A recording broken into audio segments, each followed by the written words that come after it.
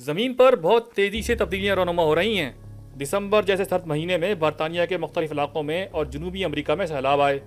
अमरीका में बिन बुलाए तूफ़ानों ने तबाही मचाई और अब दुनिया सख्त गर्मी की लपेट में है। असल बात यह है कि इंसानों ने अपनी मुसीबत को खुद दावत दी है और अब जब मौसमियाती तब्दीलियाँ हो रही हैं तो हमें अपना मुस्तबिल तारीख नज़र आ रहा है। साइंसदानों का कहना है कि फौरी तौर पर बेहतरी की कोशिशें न की गईं तो ज़मीन के औसत दर्जा हरारत में एक दर्जा सेंटीग्रेड का इजाफा हो जाएगा।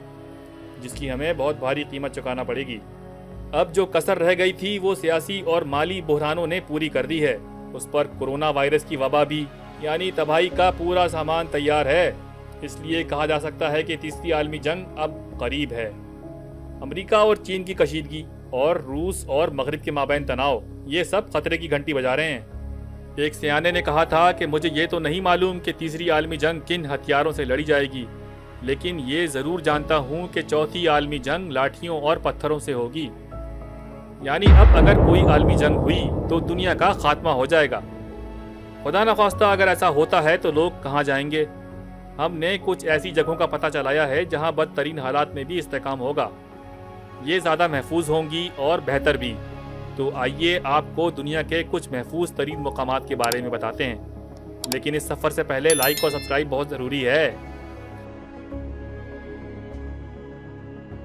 आइसलैंड दुनिया के दूर दराज तरीन मुल्कों में से एक है। यूरोप से भी दूर, अमेरिका से भी दूर।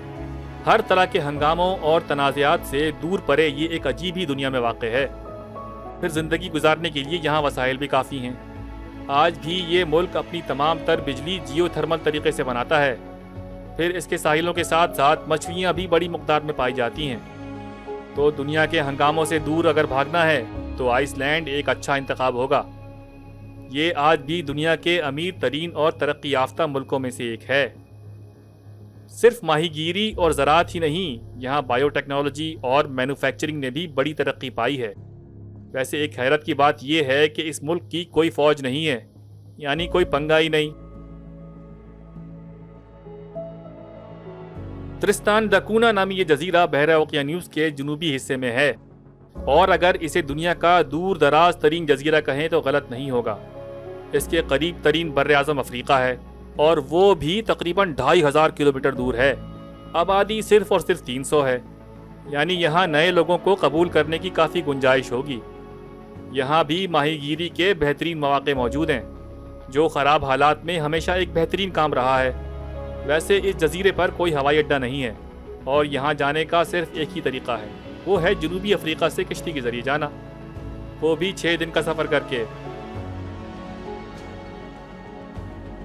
आलमी जंग हुई और अमेरिका के लोगों को भागना पड़ा तो गुआम उनके लिए बेहतरीन जगह होगी। गुआम वाकई में एक बेहतरीन पनागाह है। यहाँ अमेरिका का एक बहुत बड़ा फौजी अड्डा भी वाक़ है। लेकिन याद रखें कि माशी लिहाज से ये इलाका इतना मज़बूत नहीं है। यहाँ आज भी जो पैसा है, वो सयाहों की वजह से है या अमेरिका देता है। मुकामी सतह पर ऐसा कुछ नहीं है जो इसे सहारा दे सके। बहरहाल, अमेरिका से दूर भागने के लिए एक अच्छी जगह होगी। ये शुमाली थाईलैंड का खूबसूरत शहर चांग माई है। स्विट्जरलैंड की एक अमीर शख्सियत मार्क सीबर हैं। उन्होंने तो अभी से चियांग माई में डेरे डाल लिए हैं। वो अमीर तो बहुत हैं, लेकिन उनकी दुनिया से उम्मीदें ख़त्म हो चुकी हैं। वो कई लोगों को मशवरे दे चुके हैं कि जंग की सूरत में आप कहाँ भाग सकते हैं, और ये भी कह गए हैं कि डॉलर के साथ क्या होने वाला है। वो तो कहते हैं कि इसकी हैसियत टिश्यू पेपर जैसी भी नहीं रहेगी। खैर, जनूब मशरकी एशिया का ये इलाका तो जंगों, मनशियात की तजारत कत्ल आम और सियासी बहरानों की वजह से बदनाम है। लेकिन हैरान कन तौर पर चियांग माई हमेशा अमन सुकून में रहा है। अगर तारीख ने करवट ली तो उम्मीद यही है कि ये फिर भी एक महफूज मुकाम होगा। कम अज़ कम मार्क फीबर तो यही समझते हैं। ये अमेरिका का शहर डेनवर है, जिसके करीब तेल के बड़े ज़खायर हैं। यानी अगर मुश्किल हालात पैदा हुए तो यहाँ ईंधन बड़ी मकदार में मिलेगा। वैसे अगर आलमी जंग छिड़ गई तो अमेरिका के लिए जिस शहर का दिफा करना सबसे आसान होगा, वो यही शहर होगा। तथा समुंदर से बहुत बुलंद और पहाड़ों में घिरा हुआ डेनवर ग्लोबल वार्मिंग के असरा से भी बचा रहेगा। बल्कि अगर आलमी दर्जा हरारत में इजाफा हुआ, तब भी इसका फ़ायदा होगा, क्योंकि इसके इर्द गिर्द की ज़मीनें ज़रात के लिए मजीद कारामद हो जाएँगी। एंटार्क्टिका दुनिया का सबसे सख्त मौसम रखने वाला इलाका है। यही वजह है कि दुनिया में अगर तबाही मची तो ये छुपने के लिए एक बेहतरीन जगह होगी। अगर आपके पास सर्दियाँ गुजारने के लिए काफ़ी खुराक मौजूद है तो आप आलमी जंग की सूरत में इंटार्कटिका जा सकते हैं और वहाँ साइंसदानों के लिए बनाई गई जगहों पर रह सकते हैं। लेकिन तब तक जब तक हालात बेहतर ना हो जाएँ। ज़्यादा अरसे यहाँ रहने का तो सवाल ही पैदा नहीं होता। पुंजक जाया इंडोनेशिया का दूर दराज पहाड़ी इलाका है और रहने के लिए बेहतरीन जगह है। दुनिया में सोने की बड़ी कानों में से चंद यहाँ मौजूद हैं। यानी करने का काम बहुत होगा। इसके अलावा यहाँ तांबे की बड़ी कानें भी हैं, लेकिन इस इलाके में बहुत घने जंगलात हैं, यानी यहाँ पहुँचना आसान नहीं है। इसके मुकाबले में ये शानदार मनाजिर देखें, खूबसूरत साहिल और एक अजीम बंदरगाह। ये केप टाउन है, जनूबी अफ्रीका का दूसरा सबसे बड़ा शहर। ये अफ्रीका का दूसरा सबसे दूर दराज इलाका है और इसके इंतहाई जनूबी कोने पर वाक़ है। इसलिए कोई भी आलमी जंग हुई तो ये दुनिया भर के हंगामों से दूर, बहुत अरसे तक एक महफूज पनागाह बन सकती है। यूरोप का माजी देखें तो आपको सिर्फ़ और सिर्फ़ जंग व जदल नज़र आएगा, लेकिन हैरान कन तौर पर तमाम तर हंगामों के बीच स्विट्जरलैंड एक पुरअमन और गैर दारिदार मुल्क रहा है। इसका दारकूमत बर्न है, जो एल्प्स के पहाड़ों में घिरा हुआ है, यानी पूरे यूरोप में भी हालात ख़राब हो जाएँ तो ये छुपने के लिए बेहतरीन जगह होगी। पहली और दूसरी जंग अजीम में स्विट्जरलैंड गैर जानबदार रहा था। और हो सकता है कि तीसरी आलमी जंग में भी वो ऐसा ही करे। अगर ऐसा हुआ तो बर्न बहुत महफूज जगह समझी जाएगी।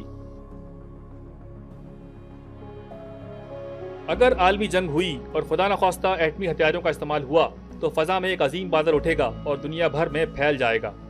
इसका सबसे कम नुकसान जिस इलाके पर होगा, वो जनूबी अमेरिका का यही इलाका है, जिसे टेरा डिल फ्योगो कहते हैं।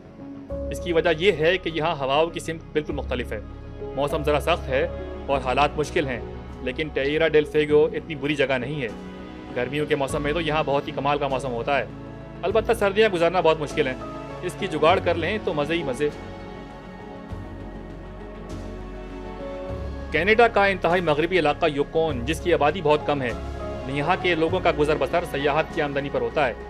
लेकिन अगर दुनिया के हालात ख़राब हुए, ये इलाका बहुत बड़ी न सही एक काबिल ज़िक्र आबादी को पाल सकता है। यहाँ शिकार के लिए जानवर बहुत हैं। लकड़ी और ईंधन हासिल करने के लिए जंगलात भी वाफर हैं और ज़रात के लिए बहुत बड़ी और जरखेज़ ज़मीन मौजूद है। यही नहीं, बल्कि यहाँ कीमती धातों की कानें भी हैं। लेकिन यूकोन का मौसम बहुत सख्त है।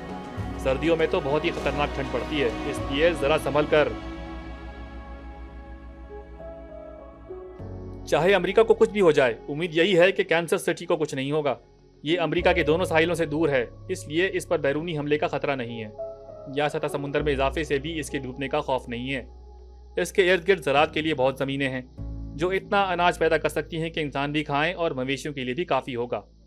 फिर यह शहर रेलवे लाइनों के ज़रिए दूसरे इलाकों से भी मिला हुआ है, यानी मुकम्मल तौर पर कटा हुआ इलाका भी नहीं है।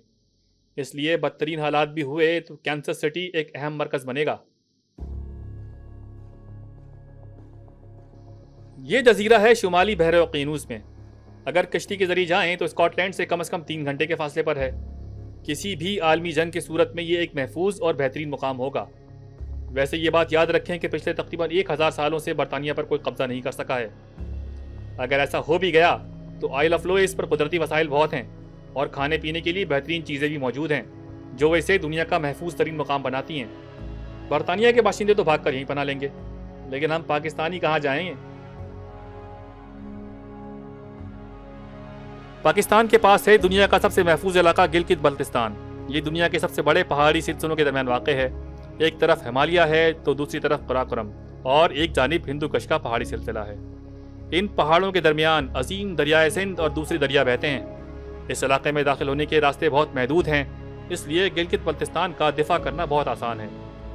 ज़रात के लिए ज़मीनें तो बहुत ज़्यादा नहीं हैं, लेकिन फिर भी यहाँ की आबादी को संभालने के लिए काफ़ी हैं।